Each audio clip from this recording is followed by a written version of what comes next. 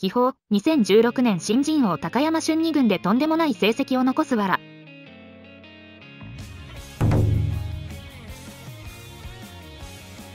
やばすぎ。ラストチャンス。鳥谷がプロ野球選手で唯一の天才って言ってた。次がラストチャンス。六大学ドラ1パワーのみで生き残った男。25回目ぐらいのラストチャンス。アンチオツ、まだラストチャンス継続中だから。33打席4安打目指せ。もう十分プロ野球楽しめたやろ。1年目活躍してからはずっと鳴かず飛ばずやったんやし。あの巨人戦のサヨナラがなければ去年でクビやったやろな。こいつに期待してた岡田。そろそろなんとかしないと首が涼しいな。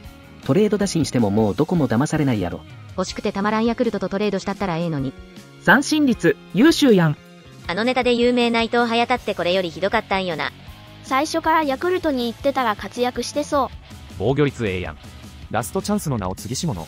感覚だけでプロなれる高山と身体能力だけでプロなれるエゴシ足せばすごい選手になりそう。練習の時は他の打者とはレベルが全然違うのにな。なんで何やろな。ヤクルトなら塩見になれたという風潮。どんでん、おん、お前、変わらんかったな。高山と原樹里はほんと逆の世界戦見たかったわ。